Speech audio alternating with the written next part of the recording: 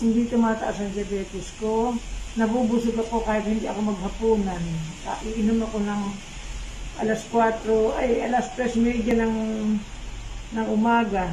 Tapos hindi pa ako nakakatapos magdasal, iinom na naman ako. Opo. Pagkatapos, alas 3 iniinom ko, hindi na ako halos naghahapunan. Ibig sabihin, ma'am, unlimited yung pagtitake ninyo ng coffee. Oo, unlimited talaga. Wow. Eh nakita mo naman lakas kong bumili. mo. Opo.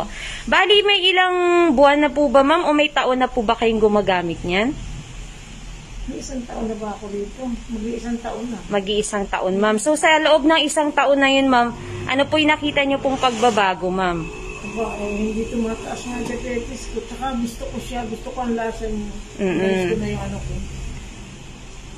Masarap siya. Masarap sa akin yan, masarap. Hindi ko na nilalagyan ng ano yan. Dati nilalagyan ko ng B-complex at saka yung ano ba yung gatas natin? Best milk. Best milk. Ngayon hindi na, purong siya na lang. Opo. Nasasarapan ako sa lasa niya. Lakas ko uminom ng kape niya. Noon, ma'am, nung di ka pa umiinom ng mix 10, ano po ba yung pakiramdam niyo?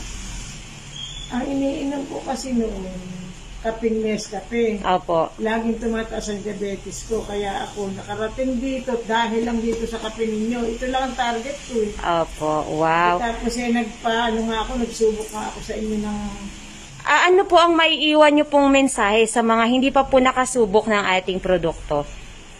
ay, uminom na sila at napakasarap ng kape. At saka hindi sila tataasan ng diabetes, kahit high blood, wala.